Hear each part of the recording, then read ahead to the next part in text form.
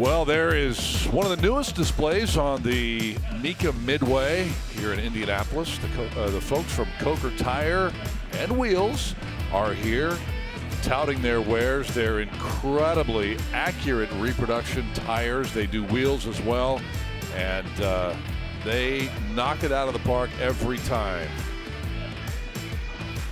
Good to have them on board with Mecum as a partner, and you can go find out more at